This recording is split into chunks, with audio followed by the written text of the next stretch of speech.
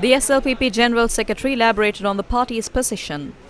නැවතත් Sri Lanka We wonder if the international community, in addition to the conspiratorial groups in Sri Lanka, fears the rise of the Sri Lanka Podujana Peramuna because Channel 4 had released a video without any basis at once. On the 10th of February 2018, we secured a 79% victory at the local government elections. If one says that we wanted the votes for something else, that person is insane or a person who cannot understand anything. There are talented detectives, yet if the government assumes that it cannot be satisfied with it, we we as a party call for an international investigation. We view this program as a one made of fear over the rise of the SLPP and it contains no actual basis or truth.